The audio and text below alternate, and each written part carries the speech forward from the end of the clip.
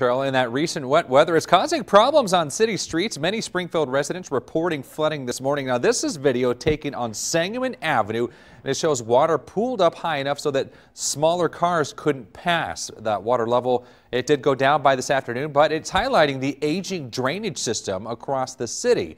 But thanks to millions of dollars in pandemic funding, many of these problem areas, they could soon be getting a sewer upgrade. News Channel 20's Jordan Elder working for you now to break, break it down down. Jordan? John, just this morning, this intersection in Springfield was filled with feet of water. Between melted snow, rain, and debris, neighborhoods across the city saw the same problem. The city now looking to sewer upgrades to combat this flooding in the years to come.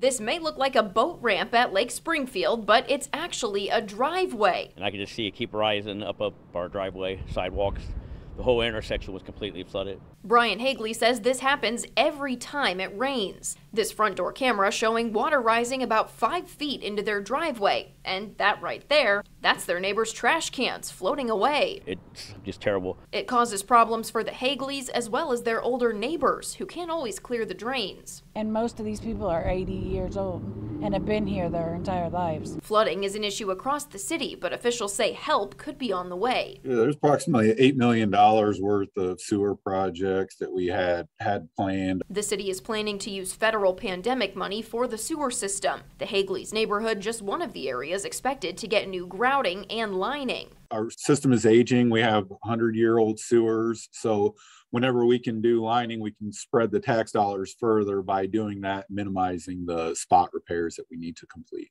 Brian has been living in this house for 50 years and says he'd like to see the day where this isn't his view after every storm. With any low-lying intersection, it's just a continual thing. I mean, every time it, any heavy rain at all, the Public Works Department tells us that they had three street sweepers out today clearing the roads and debris like this off of a sewer. There, there is a drain under there.